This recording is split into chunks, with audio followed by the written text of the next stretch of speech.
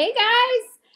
Today is a very, very special impromptu episode of Keeping It Real with Real People. I am your host, Abby Pagood, with The Kapitol Life, where we talk about all the things the good, the bad, and the healthy. And today I have two very, very special go- guests that with me today that we are talking to talk about a very impactful story that I think all of you will just be mind blown about. But before we introduce these two amazing people, um, I wanted to make sure that you guys like and share this because not only is it going to be impactful to you, but it also might be very impactful to a loved one that might be experiencing some of the same things or is about to experience some of the same things. Um, another thing, shout out we have to do is that our Kapitol partner of the month is Be Zen Holistic Wellness Center in Allen.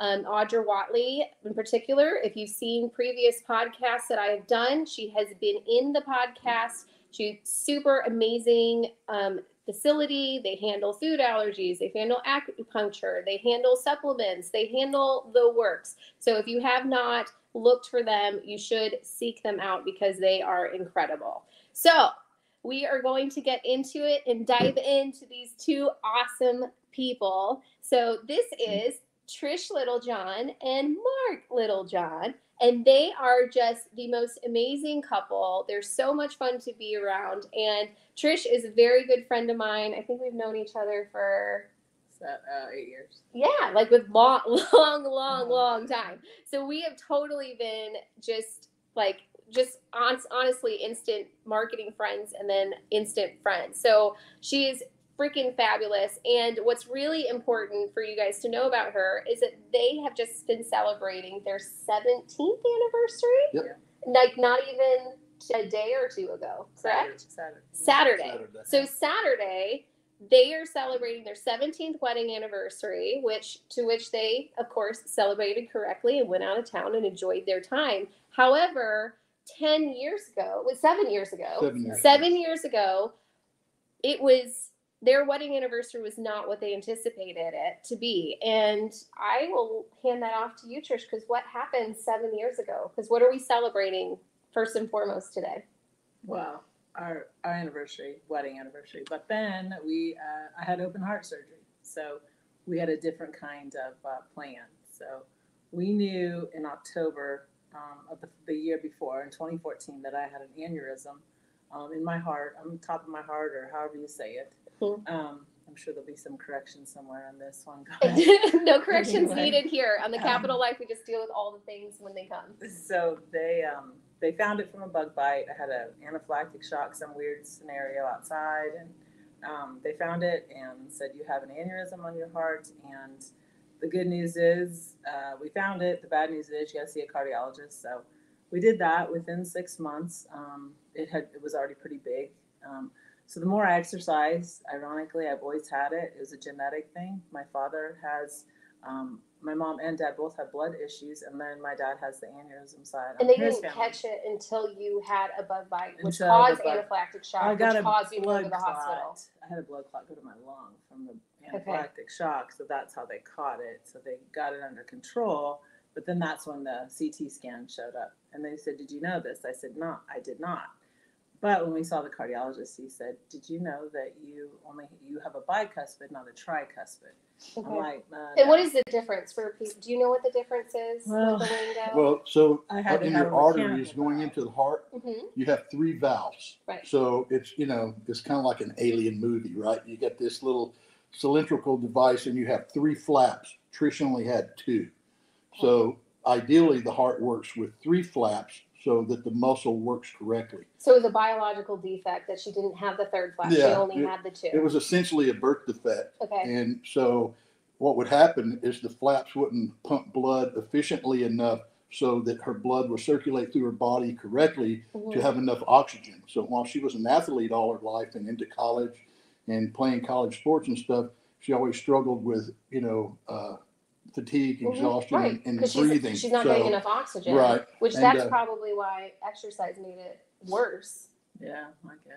Yeah, Yeah. It was it was really funny when we started talking to the doctor. Funny and not funny because when they first told us, they said, "Hey, we have good news and bad news." And at first, they kind of attacked us. they're like, why didn't you tell us you had a birth defect? And we're like, what? How birth would I defect? Yeah, how, we, we, we had no idea.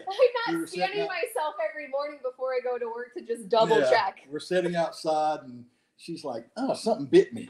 And I mean, not five minutes later, she's just, her, her leg starts out with this rash and she's like, I'm going to go take a cold shower. And by the time she comes in, takes that cold shower and comes out, her whole body just is in hives. Wow. So we, you know, we rushed to the emergency room. And what happened, the reason for the scan is when they tried to give her the IV, they couldn't uh, get the needle correctly in her arm for an IV. Okay. So they actually caused the blood clot that we wound up going back the next day for Okay. and finding all of this out because all they were treating was the bug bite, and the anaphylactic shock. Oh, no. So then she started struggling with breathing and chest pains and shoulder and arm pain the following day. So we go back and they go, okay, uh, you do have a blood clot. We're going to give you these meds to break it up and so forth. And that's when we found out was the following day.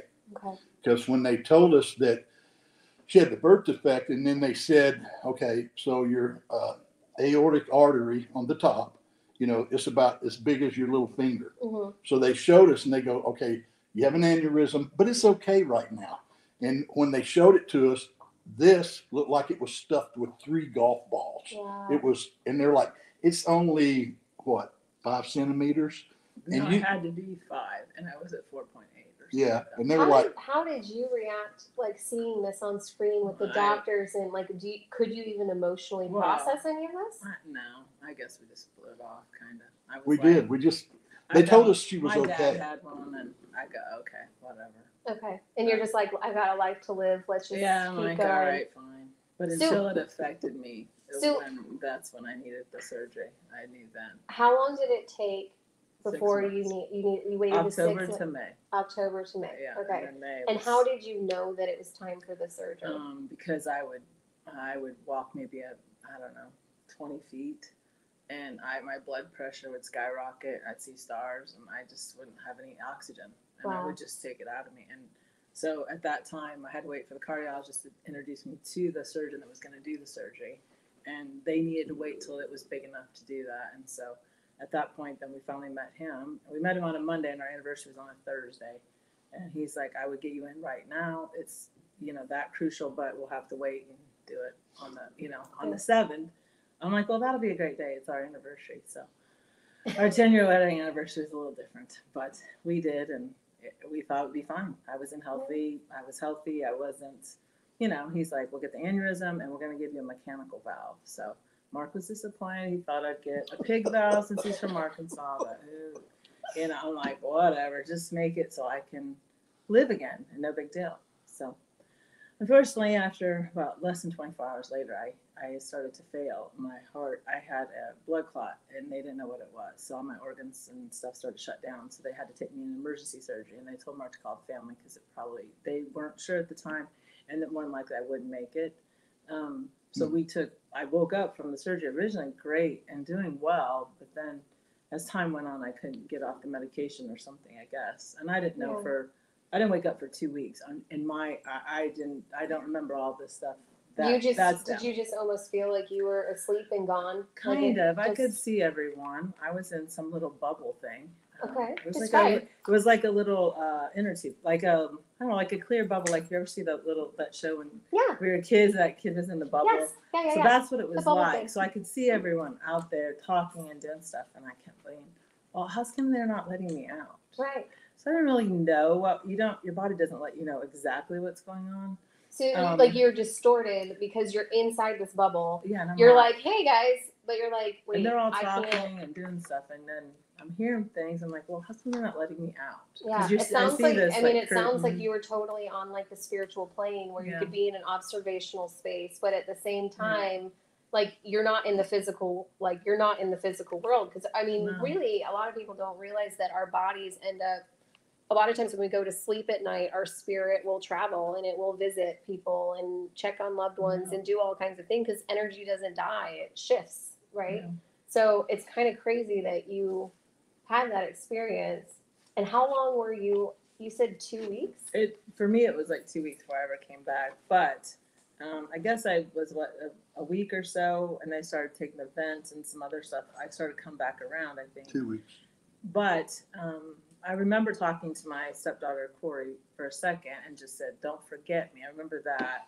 Um, she showed me some pictures or something, and then I flatlined. Well, in my head, I uh, went like I was in a dream again, and I was talking to this couple, which actually was the nurse that saved my life, um, because they were saying her name so much. She and um, I felt the paddle, so they paddled me Yeah. to you know to get me back, and I felt that, but I thought it was something different.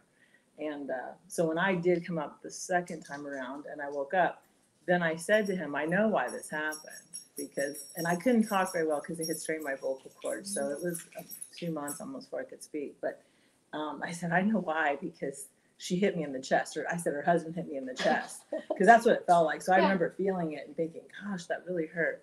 Um, but your mind and your body just does something different. But then uh, when I before they co- before they shocked me or whatever, I could see myself in this canoe taking this long route to the hospital. I'm thinking, man, I'm never gonna make it, you know. And so I don't know. I remember the stuff so real vivid. So um, I had a little PTSD after things got better when I got home Yeah. finally, but I was almost three months there. So and then I had to go to rehab and stay at a facility afterwards. So I don't know. It was a very long process. I, I you know, I couldn't walk. I couldn't feed myself. I couldn't.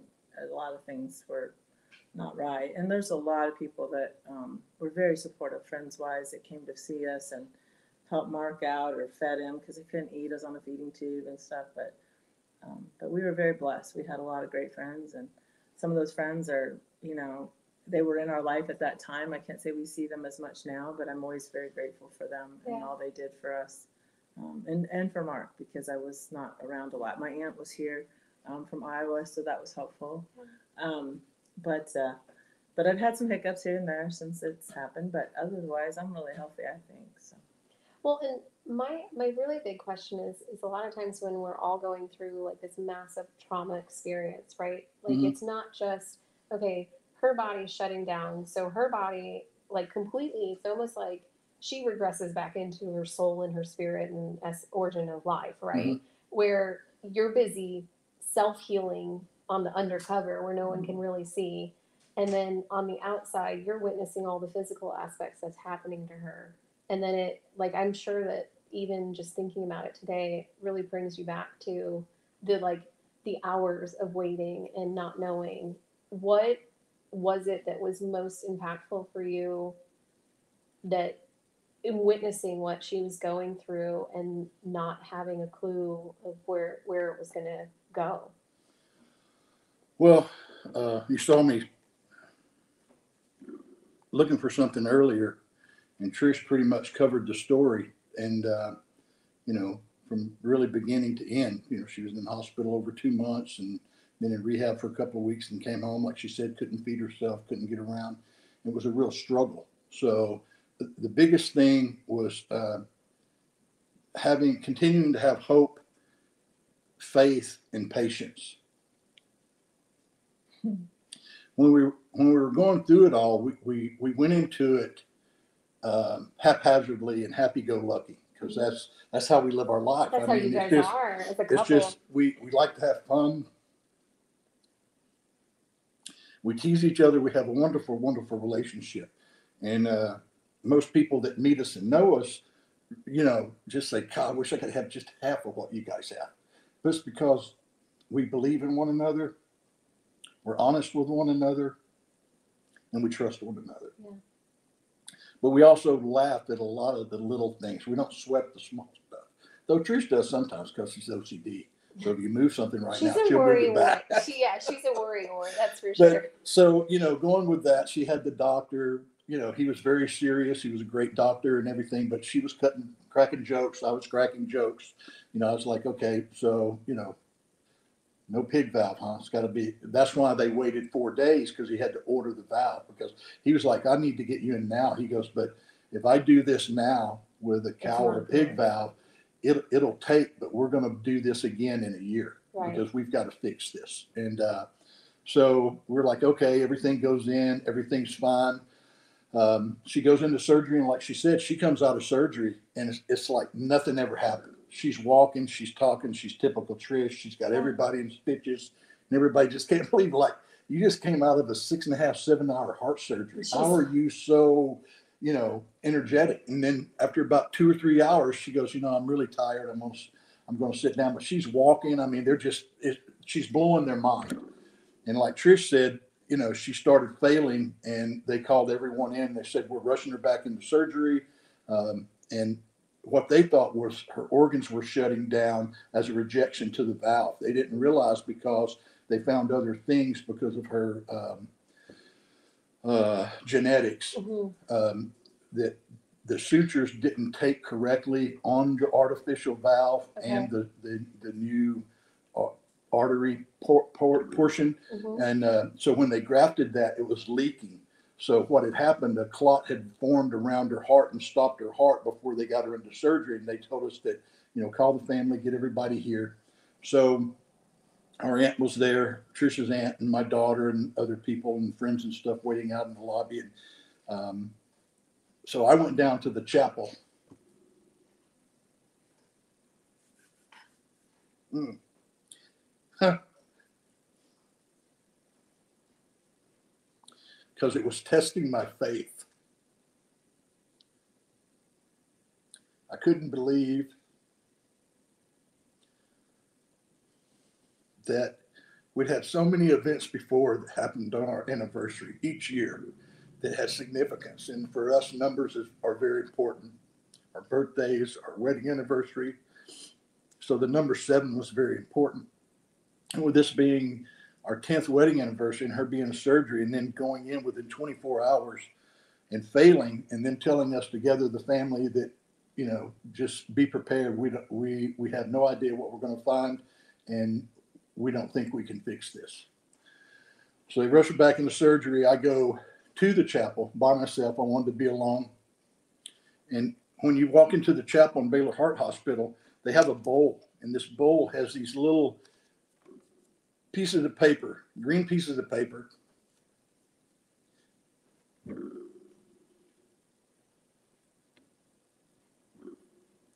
And I, I take this one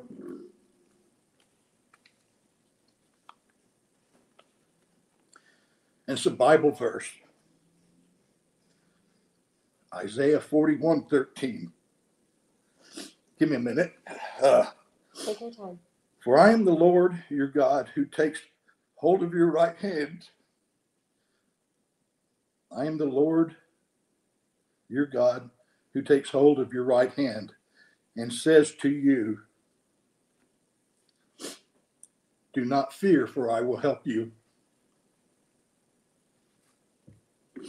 So I held on to this and prayed and just sit in solitude for the next three and a half hours. Trisha's brother comes down about three and a half hours later because they knew where I was at. They said they'd come and get me. And uh, he says, Hey, uh, the surgery's complete. They're waiting on Trisha's recovery. Looks like everything went okay but they said she's going to be touch and go and they put her in the medically induced coma and they're not sure when they'll bring her out because of uh, we didn't know all the factors at that time he says so why don't we take you to the cafeteria and get you something to eat and um, i'm like okay i really wasn't hungry but i'm like okay i'll appease everybody and i'll go to the cafeteria with everybody so when i walk out of the chapel i still have this piece of paper that i took because I felt like, you know, you get one and, and it's important, it's critical. So when you come out of the chapel in the hospital, the front doors are there, big double doors and big revolving door. And I walk out and I see another piece of green paper in the doorway. I didn't pay any mind to it. I saw it. I thought, that's really uh, peculiar that someone else had a piece of paper. I didn't notice it going in, but the same little green piece of paper that I knew was out of that bowl was sitting in right there in the window uh, in the entryway. I didn't think I didn't think twice about it. We go in probably 20, 25 minutes later after we have breakfast and stuff, then we, we're going back to the room or the waiting area to wait on the doctors because the nurse came down and said the doctor will be out in about 10 or 15 minutes if you guys want to come up. So when we walked out, everybody's going to the elevator and coming to the elevator. The chapel's right here and the doors are over here. I walked by the chapel to the elevator and I just happened to glance over at the door again. And granted, it's been 20 or 25 minutes. And that green piece of paper was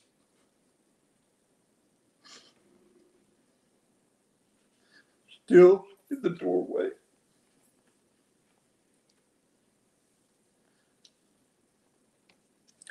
Because I still had this piece, I thought, why would someone leave that there? Why didn't someone pick it up, throw it away?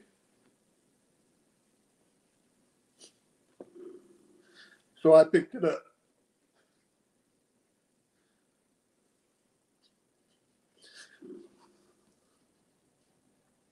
Do you want me to read it for you? You got it? Yeah, I got it.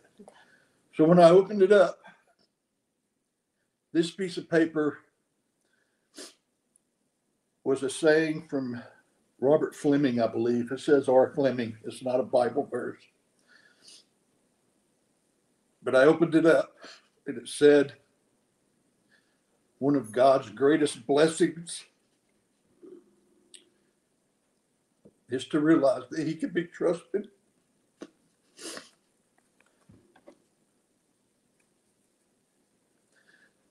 I carry these two pieces of paper with me everywhere I go.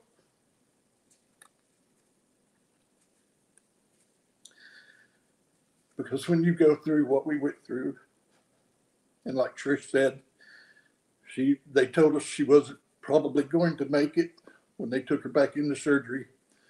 And then she coded two more times during her whole stay. And sitting there by her side and holding her hand and watching that monitor flatline and life leave her body was devastating. But I had these, and I continued to believe and pray. And when I sit there holding her hand, watching her life leave her body, I was just like, you can't give me this and do this to me right now. So, seven years later, we still laugh and we have fun and we're just so thankful. He upped his life insurance. well, on me, because I couldn't up it on you. you have a pre existing condition. Hey. So- have everything. but you could see that, I mean, while this was very hard, it was, it's one of those things where I, I, I apologize to Trish quite often. She's like, why do you do that? And because I experienced her dying. I sat there and held her hand when life left her body and they got her back. And it was brutal and excruciating. So I tell her all the time, I'm sorry if I go before you again. I, I don't want it to happen to her. I, I mean, we all know that life is inevitable, that it's going to end. But how you live it and how you prepare for the end and continue to live is going to be the lesson or the example that you give to others. Mhm. So for us, it's just, you know, enjoy every day as, as it's given to us, make the most of it, enjoy our friends and family, and, and trust and believe that God has a plan because Trish has touched so many lives since this event that I, I think that God had a plan. He still has a plan because she's healthy. She's she's fun to be around. She's a, a, a joy every day to be around. There are little bitty moments, and We're, but see, we're still human, well, it's but that's why I said we don't sweat the small stuff. right? You know, we're human. You Yeah. know, we're not perfect. We, uh, we don't uh, get along every day. You know, Trish buys more things than we need sometimes, and you know, I buy more things than we need sometimes, and we just put up with one another. But we both so much enjoy the the time and the opportunity that we were offered from God to extend our lives and to share our lives with other people, like we're doing here today. So, thank you. Well, I appreciate you sharing your story so much, and I've I had already heard a lot of this story from Trish herself. You know, when we became friends, and hearing her story was such an impact. But I was really curious more to hear on the spousal perspective because when we go through these massive traumas, especially when it's not expected, and you can see such a significant difference on how she not only reacts to it because there's not much that she can do. She's completely surrendered control because she knows she's in God's hands and whatever is supposed to happen will happen.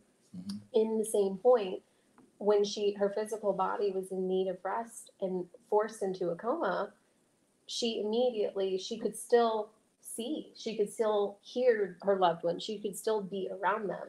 Where you're having to do with the loneliness of what it feels like to have to handle those obstacles by yourself and watch her going through it. So when when all of this, like when we ha- get her back and everything, and they're like, "Holy crap, it's a miracle!" Like, holy, like how is she even here? Obviously, there's a re- rhyme reason for everything. Mhm. What was recovery like? Because recovery is sometimes one of the most challenging and like also strangely rewarding experiences in your life because God kind of puts like a mute button on you, right? It's almost like He pauses you and you are forced to have to listen and learn and seek patience and all of that. So when you were going through all of your recovery and physical therapy and trying to get like your memory and verbal and all of that stuff back, what did you have to? Where did you have to dig deep to to stay with it? Because that can be so taxing emotionally. For a little while, I I didn't. For a little while, I was just sucking air, is how I called it. Okay. Um, so they come in at about three in the morning and scan my lungs every day because I had so much fluid um, from whatever. I don't know how that works, but I had a lot of fluid, like over 50 pounds of fluid on it, seemed like. And uh, so I was drowning every time they would do something. So I kind of panicked if they laid the bed back or do anything. But one night the lady came in. This was soon after I woke up, and they were doing the the X-ray, and she said, "Are you okay?" And I said, "I'm just sucking air." And I looked over at Mark, Love that expression. and he's laying on the he's laying on the uh, couch, and you know he's they have a couch in the room. It's sort of big there. It's such a nice hospital, and uh, all I could think is, I love him, but I'm ready to go because I was so uncomfortably.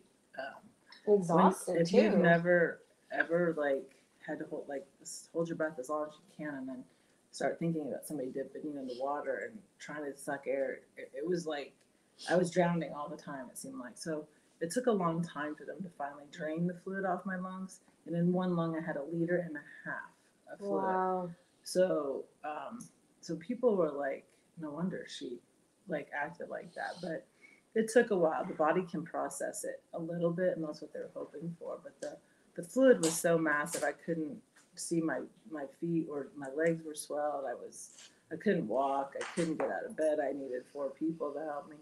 I think the the best thing was just to get a shower and they have showers in those rooms. And so i think that was one of the first times i was like oh a hot shower. You just take so much for granted when you're healthy and doing your thing in your house and getting up in the morning doing your hair and taking off. And i lost some of my hair for a while when i did get better. And I don't know, just stuff, you know, like at the end of the day, sometimes I have to dial my own self back because the people that do know me know I worry about stuff or get wound up about the stuff that I can't even control most of the time. But Which I'm kind of surprised that you having to have four people help you.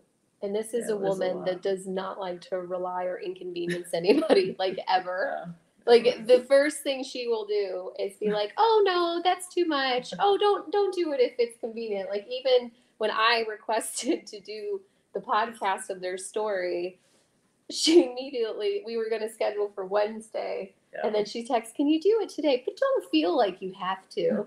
Like as if like like as if this was gonna be like, oh no, we're not gonna do it because I'm not in the mood. yeah, Crazy, you're Yeah. nuts. you know, I, yeah. I have my moment. But life it's is- impressive to like have to rely on good. so many people to take care of you and get you back on your feet. It was a lot. And It's- actually, the physical therapist I had was little like you. So I would always go, I don't think you, are you sure? And remember, I still couldn't talk. So it was really soft. Like it was barely could hear me. And so I'd, Mark would have to tell him most of the time. I couldn't push the button for help, even if I could push it, because they still couldn't hear me through the thing. But there was some funny things too. But yeah, they, uh, we had a good, I mean, I would, she's like, I have you, I've got you, Trish, I can do this. I'm like, I don't know, because it's so big and I just could hardly move. And Yeah. so I don't know. God takes you sometimes to another place, and He says He's got you, and you have to have faith. He does. There was times I just, I just didn't know if I could handle it, if I could fight that much harder anymore. But, um, but I fought through. I, I fought through it, and it is what it is now. Yeah. So I'm good. Well, I, my favorite thing is that you really relied on other people being able to surrender your efforts because you lost your basically your strength. But when you Because can't you're- speak either, I think I think you forget about your voice and what it means. And Mhm. I couldn't speak, so they couldn't hear me. Um, and most people think this is funny. I was like, really? But the nurse, the speech pathologist, comes in, and they thought they're going to have to do something to go down my throat again and try to do something to get the vocal cords to start coming around. And uh, so I was like, no, no, no, I don't want anything else, you know. And uh, I'm, and so she comes in, she's like, okay, we're going to start trying to strengthen them up. And so I thought he put her up to it. And she said, I want you to say, woo pig suey. I go, what? Like, and he's laughing so hard, he's so excited. And she goes, no, really. This is like, it, it will strain. I want you to, you know. So I had to say woo pig suey a lot. And it was very hard because I, breathing wise was even hard.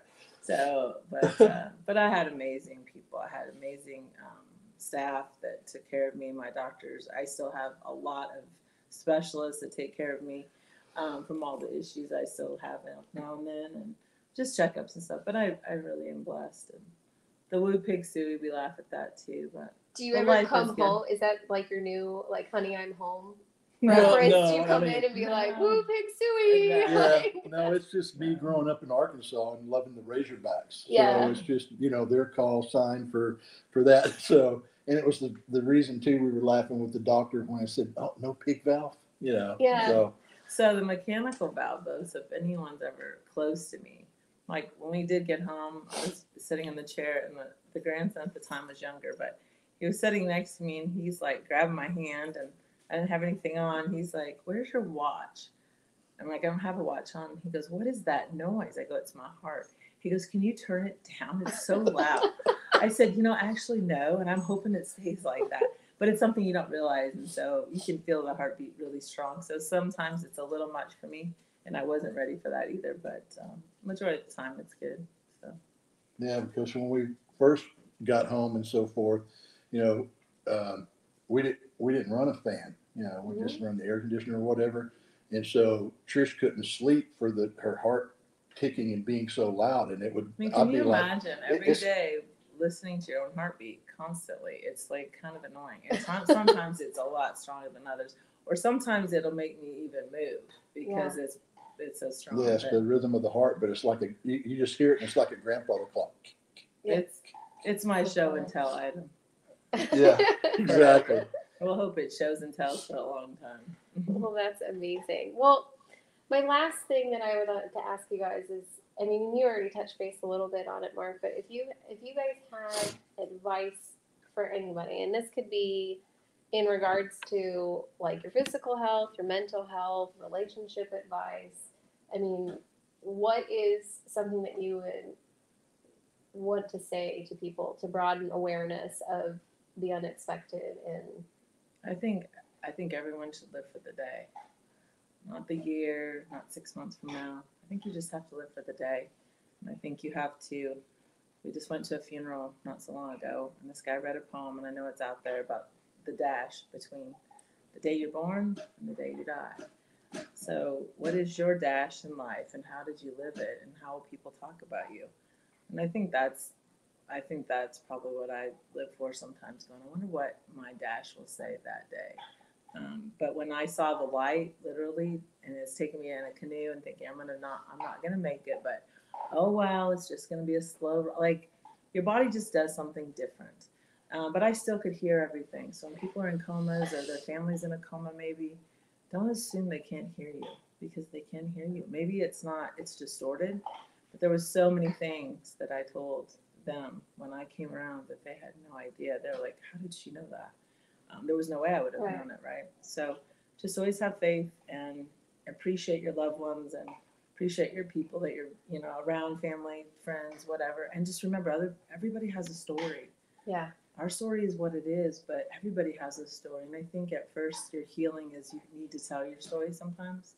Um, maybe Mark should tell it more often so he gets better, right? But Well, it's so it doesn't very, make him so sad, but it's very emotional. it is And it, emotional. well, and it's the memory. I mean, it's just it really Yeah. it's taking you through it, and you know, like no offense, but you you were in like Yeah. spiritual floating space. Yeah. You were in your bubble, yeah. so like I your was. body's doing your thing, and then this poor man's having to witness and deal, which Well, really- even COVID, like Right. I say to him, I'm so glad if that's I had to go through this journey. I'm glad it wasn't during COVID because I don't think I would have made it because I really couldn't help myself. yeah, and there's no way a nurse can help you 24 7 they just can't even though they're they're with you they can't they Yeah. can't do everything and i couldn't even talk on the thing to tell them to come get me or or help me or anything Right. and uh, so mark had to feed me and all kinds of stuff it was kind of it was bad so i feel bad for the people who had to watch their loved ones maybe suffer even with covid because that breathing is Yeah. it's, it's hard it's Yeah. you don't you take for granted absolutely. Well, and I would imagine also like, I- I'm just saying from perspective of witnessing what you guys like have gone through.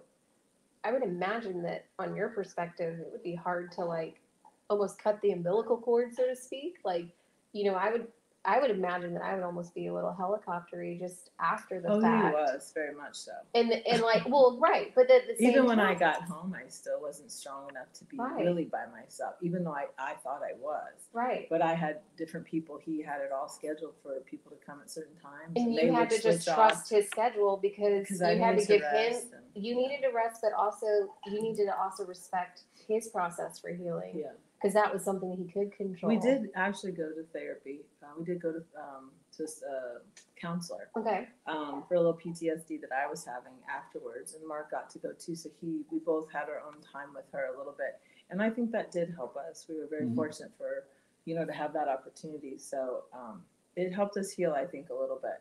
And we, you know, and she was really good with us. And then she said, "I think, I think you're there now. I think you," Okay. and I think, I think it was good because everybody has a story. Some people have, have had heart surgery, maybe not open heart, but they've had heart surgery and whatever. Uh, But at first, you're like, uh, okay, you have no idea what I went through. Yours is not even the same. Right.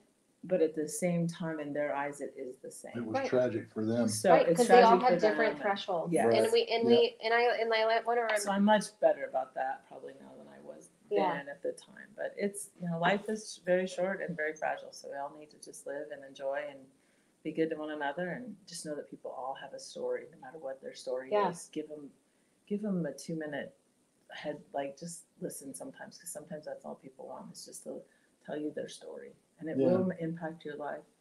Well, you know, they always say, what's your elevator pitch? Mhm. If you, if you have this to say and you have this time between the elevator, and you said it, you know, she said, hear their story and everybody has a different opinion, right?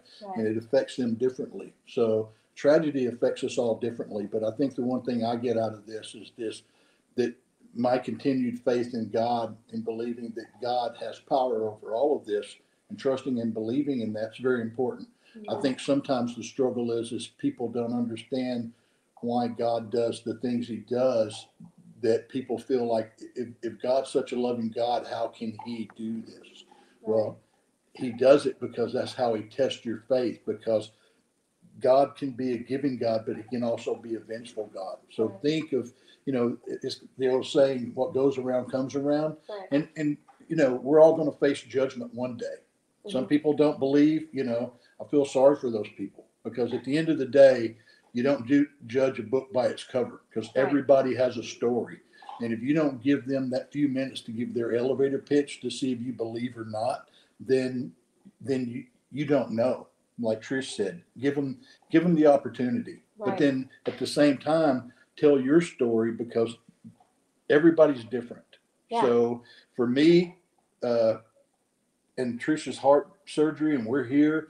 it's not like experiencing cancer, cancer or something else that's eating away at somebody's body. Muscular dystrophy, those kind of things where people spend years taking care of people who are going to continue to deteriorate. Right. That takes a special kind of faith and strength. Yeah. So it's very important. Well, and I and I kind of would like to add to that because I think it's not just I think it's remembering to have compassion to be able to listen to the story because you could cordially, you know, nod your head, listen, but not even take the time to process and Mhm. actually hear what's being said. Yeah. And sometimes what I find the most interesting is that a story that you heard in your 20s and then a story the same same story that you hear in your 40s has completely different profound impact.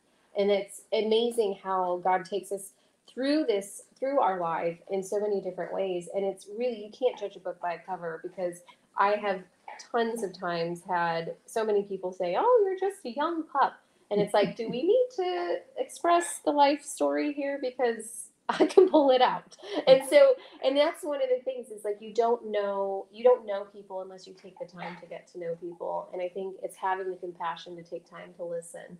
And i think all of mm-hmm. us have a really important story to share especially and it, and even if we don't think it's important it's important to some it makes an impact to somebody else. So mm-hmm. i graciously thank you guys so much for being Oh, my thanks for guests us. today Thanks. And- Absolutely. and I encourage all of you guys, if you guys don't know these two, these are an amazing couple. Go ahead and like and follow them on Facebook.